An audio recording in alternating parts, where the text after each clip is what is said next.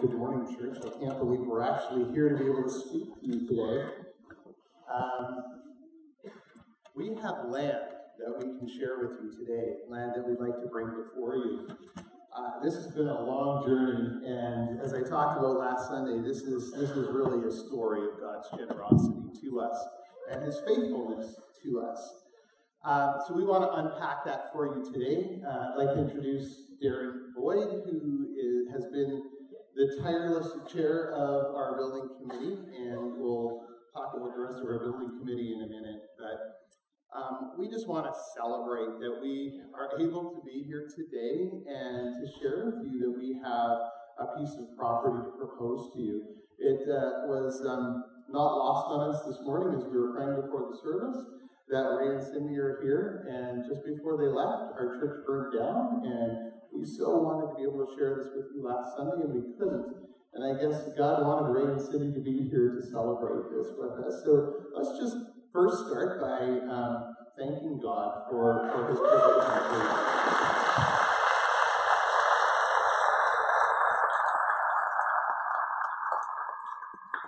We also want to thank um, a whole bunch of people just, just quickly. One, uh, for sure, is our building committee. These guys have worked tirelessly.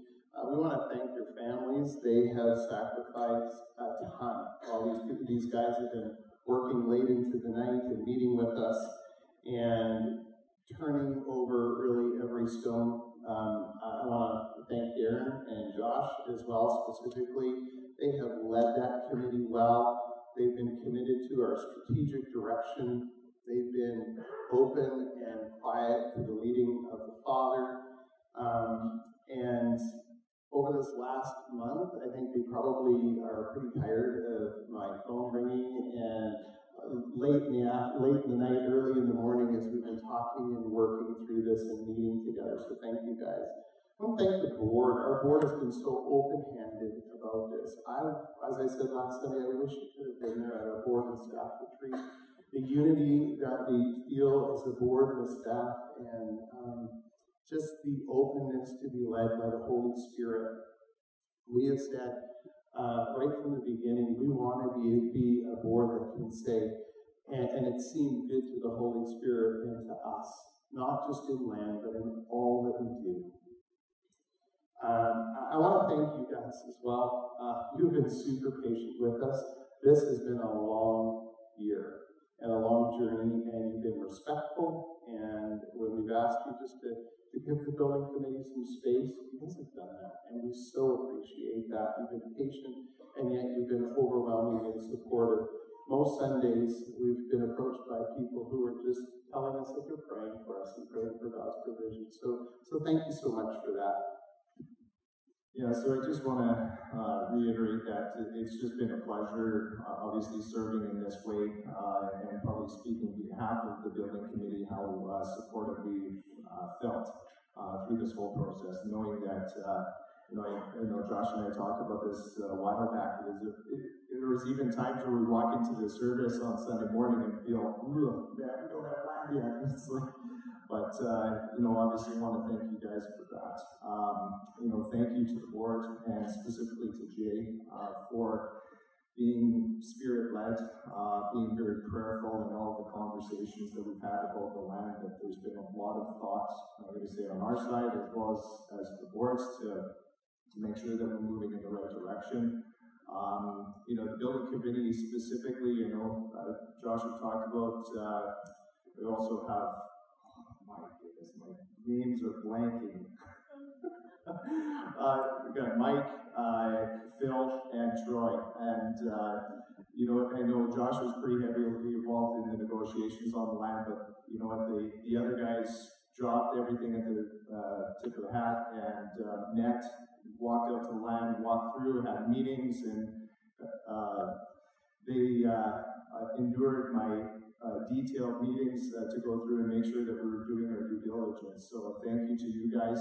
Uh, thank you specifically to your wives as well and your families, you know, Kelsey, Lanny, uh, Joellen. Uh, thank you so much for obviously allowing you guys to, to come and, be a part of this.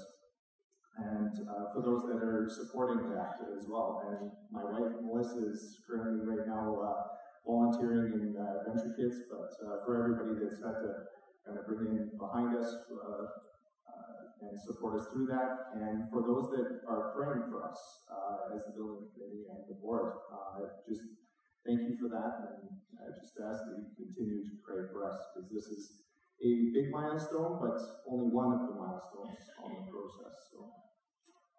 We wanted to take just about two minutes really quickly and walk you through uh, really what our strategic uh, requirements were land. I know uh, I see a lot of faces of people that invested time with us over a number of different meetings to, to really talk about strategy and talk about the heart of the Stony Plain Alliance Church. And after our consultations, after our board work and our consultations with you guys, we really landed on a, on a few really important things. And so this was really the groundwork, the, the anchor upon which we looked at land. So one was that we wanted a piece of property that was in the proximity of, of Stony Plain or Stony Plain. We, we fully understand that half of you come from somewhere other than Stony Plain as in the town.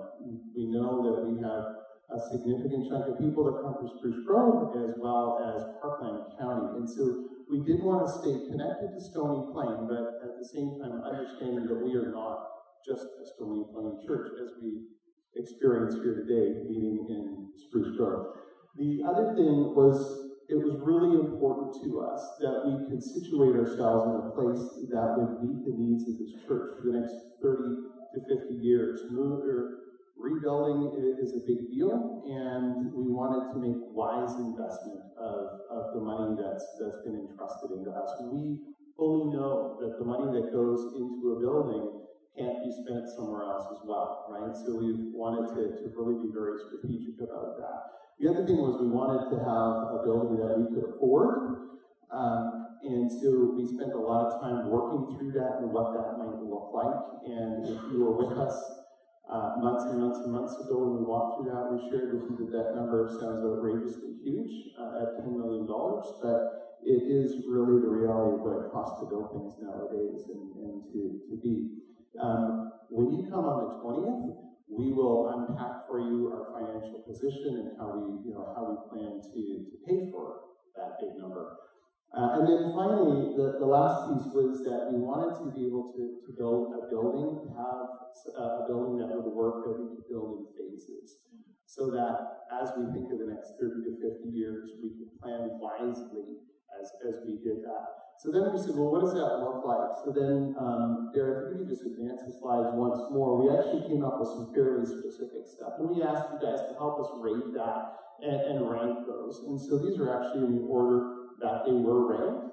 And so we want, and, and so I'll just let you read through those really quickly instead of instead of me reading through those. But it was really upon these points that we evaluated we evaluated the different pieces of property that um, that were available or perhaps available to us. And boy, did we evaluate properties, hey Darren?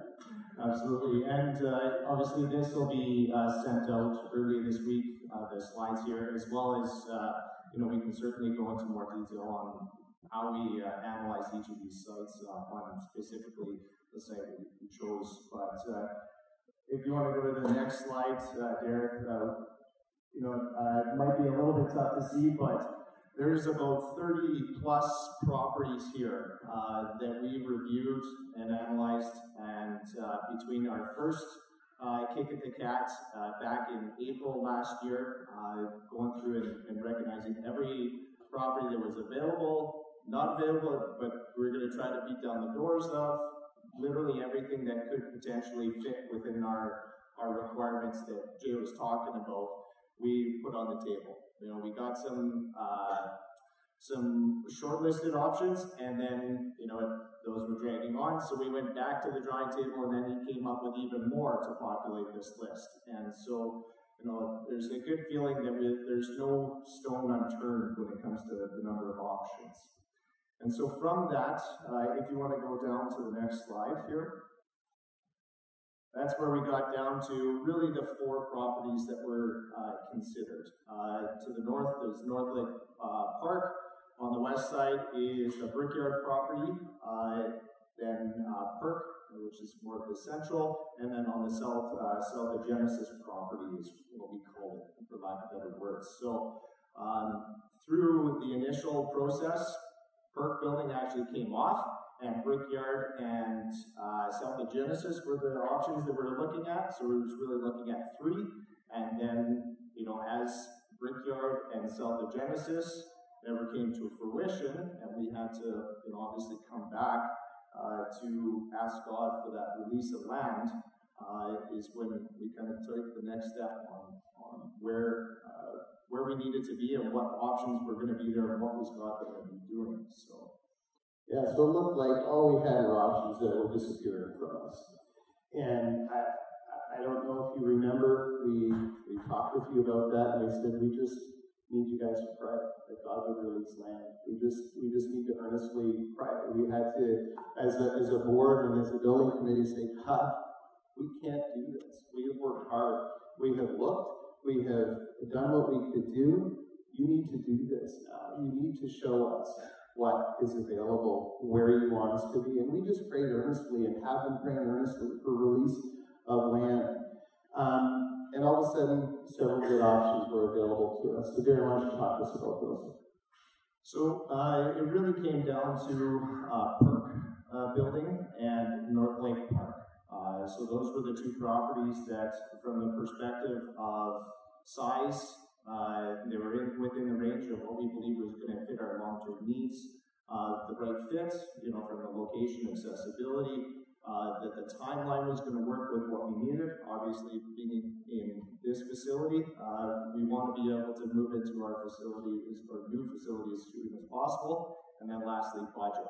And it really came down to these two properties. And when it came to the perk, um, it became abundantly clear uh, in, I would say, the recent days that that negotiation was frustrated, and that wasn't going to be the option for us. And it was clear that, you know, through all of this, that, that God was working through um, making it abundantly clear which option was going to be the one that we were going to go with. And that really roots us down to North Lake Park uh, being the property.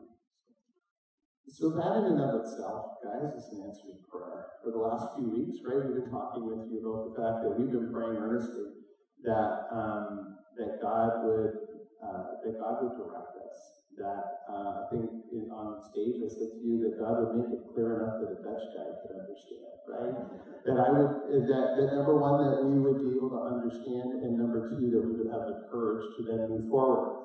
And um, and, and that's exactly where we landed. We, it became super clear that both financially and timeline wise, the property was not going to work for the multicultural heritage folks, and it was not going to work for us.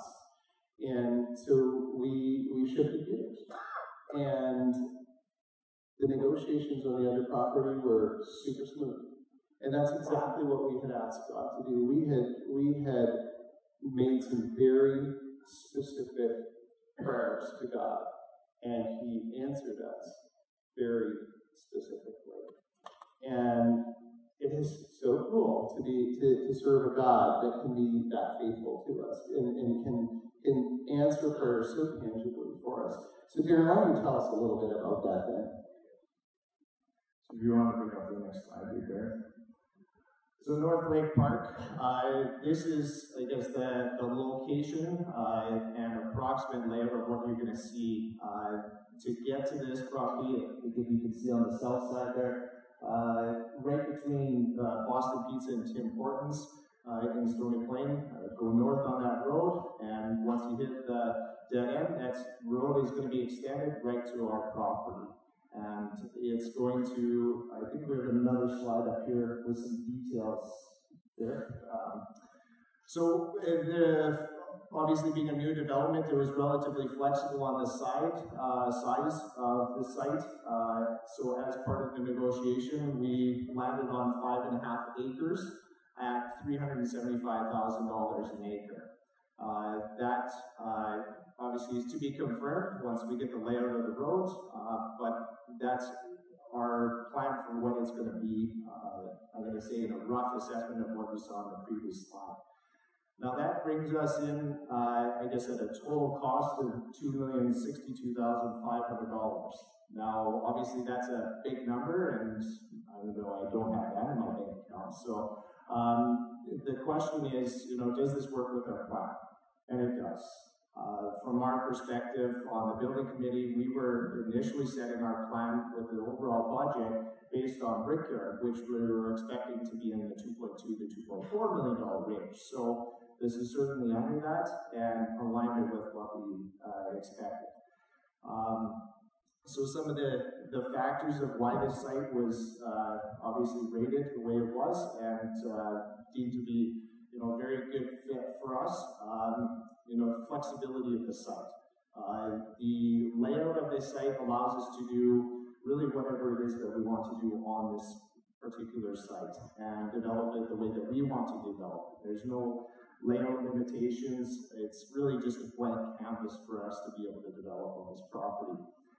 Uh, secondary uh, accessibility. Uh, obviously, talking about uh, us being a, a, focused on being a regional church, not just a Stony Plain church. Accessibility was uh, a significant part of the conversation, and the location here. Obviously, it's a great access off of 16A, and uh, is also going to be highly visible from that location as well. And uh, of course, the Tim Hortons, if everybody knows that.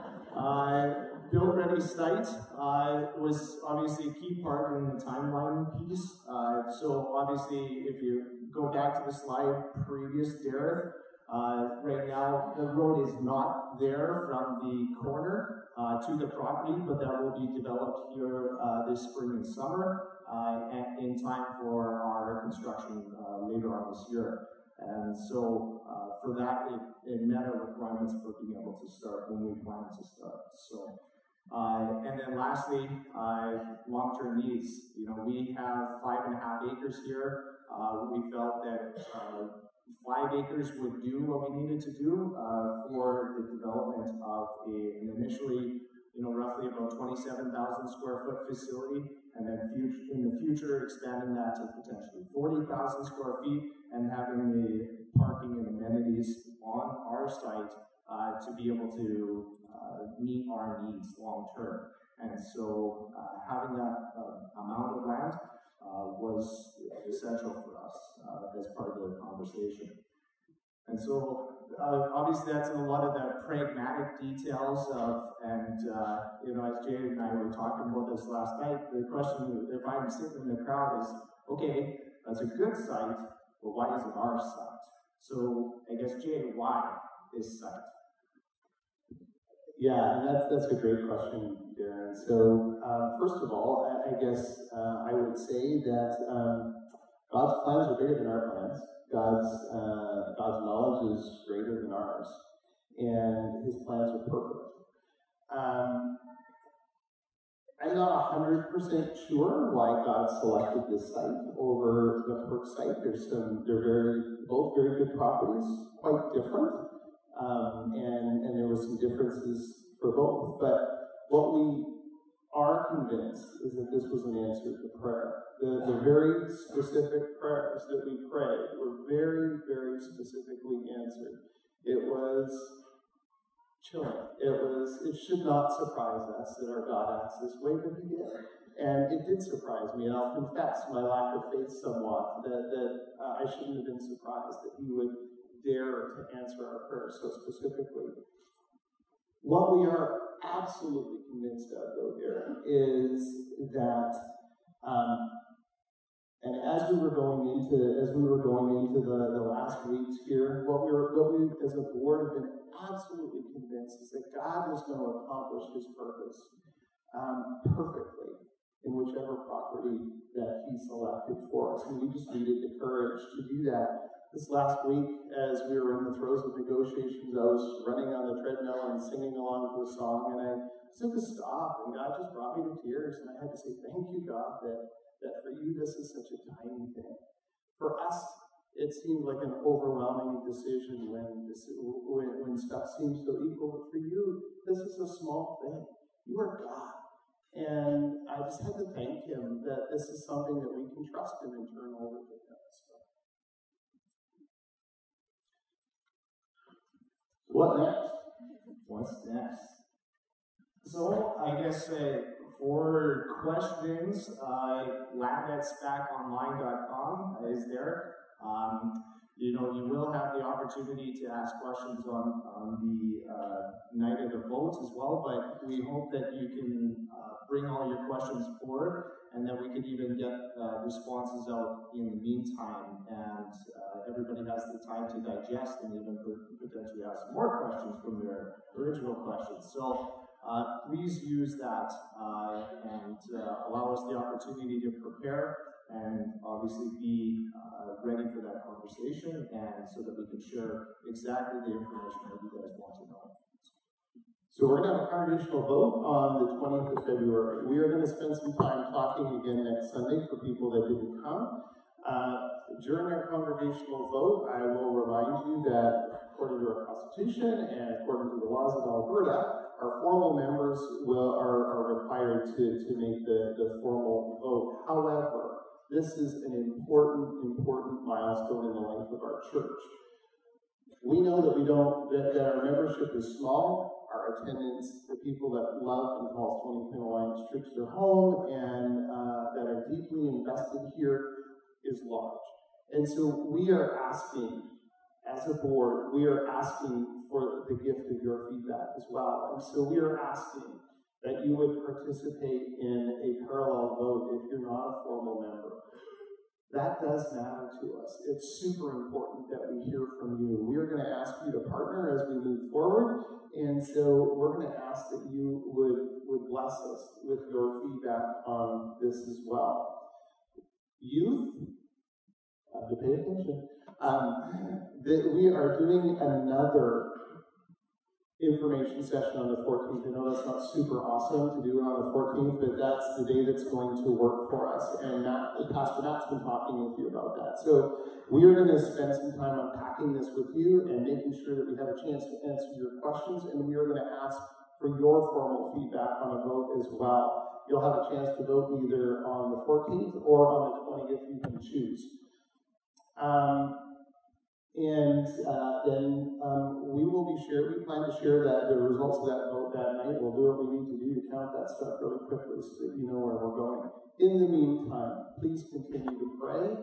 Please ask that God would speak to you. Please pray that God would just extend our tent, that He would He would stretch out the pegs of our tent, that we would continue to, to, to, to be captured with His heart for the downtrodden for the people that don't yet know Jesus Christ as their Lord and Savior, pray earnestly for that and pray over that property that God would start to do a good work there already in anticipation of, of what's to come. On your way out today, you will receive a, because we don't do bulletins um, now, you will receive a piece of paper that has the formal agenda for the 20th, as well as the actual formal motion. So please stop at what or stop by one of the elders. They will be handing that stuff out as we go. So, let's thank these guys for working with them.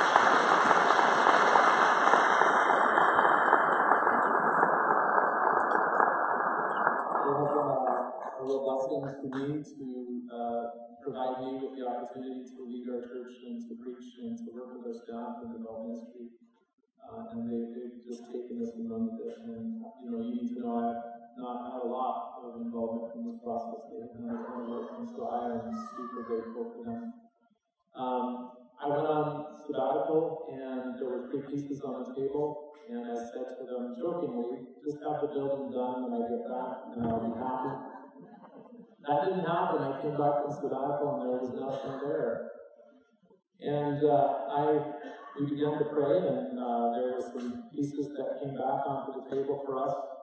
And, uh, you know, it ended up with the, the two that we were looking at, those two sites. And I started to pray about them. And most of you who know me know that I have some pretty strong opinions and feelings about things.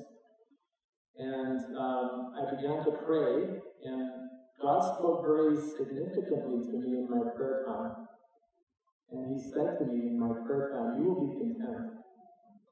either one of those properties, my son.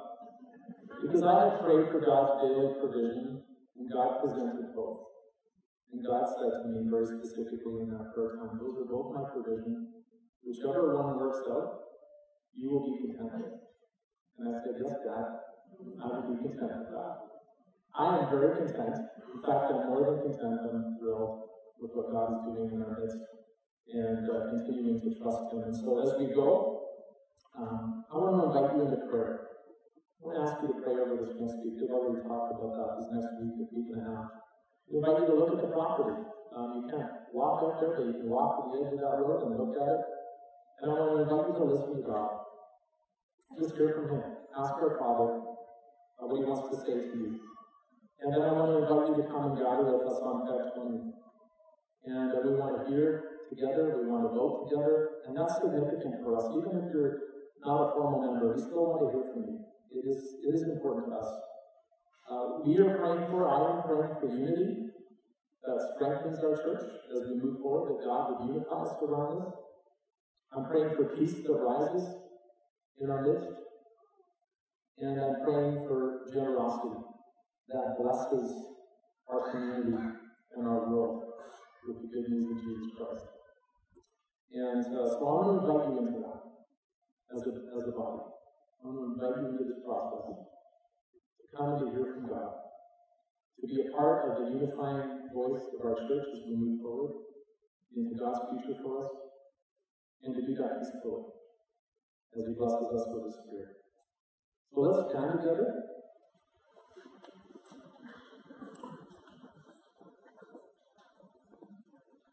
So, Father, we thank you. Thank you for your amazing grace. Thank you for your amazing provision. And we know that this process isn't done. It's a milestone, it's a marker, it's a rock we can put on the ground and say, You led us this far, but there's a long way to go still. So, as we come together, as we look, as we discern, as we listen, as we pray, God, that you would lead us in this process. I pray that this would be something that unites we know that the enemy wants to divide. God, unite us around your cause, around your purpose. Unite us around the direction of our church. Bring peace into our midst as we move forward, not strife. We recognize again that that's just a ploy of the enemy. You want your people to be peaceful, to be at peace with you, to be at peace with each other. So bring peace. And we will do all we can to cooperate with the work of your Spirit in our midst. And as I prayed this morning and heard this morning, that we, that we would be bold without being brash, and that we would be courageous without being careless. And so we continue to lead into you this morning. Thank you for the work of our team and all they've done. Thank you for our people and our hearts. God, I'm just tremendously blessed to be pastor of Stony Plain Alliance Bless our people, our families, our friends, so that others can be blessed through us. In Jesus' name. Amen. Go in grace today.